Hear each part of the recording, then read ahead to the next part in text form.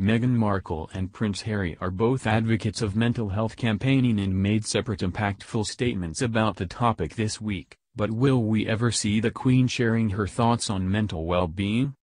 Meghan Markle and Prince Harry, along with the Duke and Duchess of Cambridge, are great supporters of mental health awareness. Prince Harry, Prince William and Kate all founded the Heads Together Foundation in 2009 to encourage people to be more open about their mental health.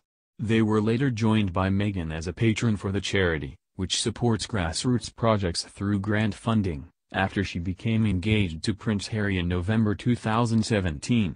In a bid to open up communications on mental health, the young royals often feature as fantastic examples of leading the conversation in public.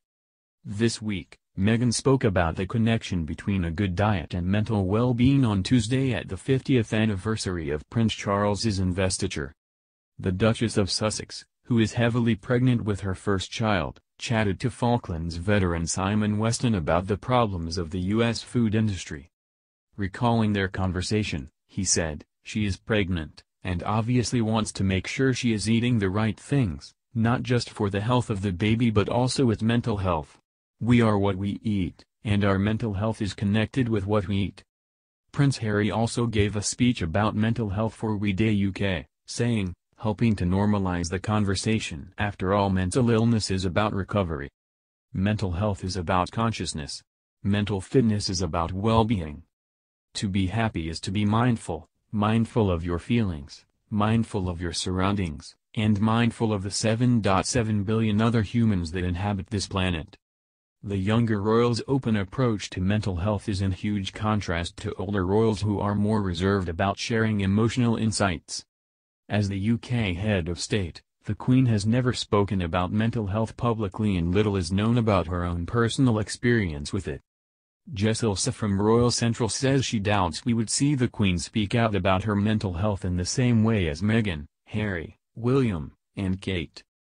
She told Express.co.uk, I think it's because they come from a generation where it wasn't considered normal to talk about your feelings in such an open manner, or to admit that you might be struggling and not because she doesn't approve of it. However, she said that is not to say subtle references cannot be made. She said, that being said, I do think we hear about it in veiled ways, like when she referred to Prince Philip as her strength and stay in an anniversary speech. I think that was her way of saying that it hasn't always been easy or glamorous but she's happy to have her husband by her side to help her through those difficult moments. The commentator added the younger royal's ability to speak so warmly and empathetically about mental health has helped to show a side of them the monarchy not previously seen before.